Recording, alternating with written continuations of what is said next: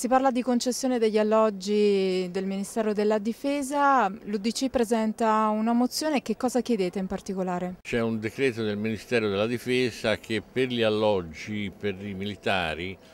stabilisce nuovi canoni, per questi qui noi chiediamo due cose, prima che siano applicati dal momento in cui viene notificato all'interessato e non come si dice retroattivamente dalla data del decreto. Per gli ultra 65 anni dare la possibilità di poter acquisire l'usufrutto perlomeno. Sostanzialmente ad oggi è vero che si tratta in molti casi di persone militari o ex andati in pensione che abitano così come per dire sine titolo, però pagano regolarmente l'affitto.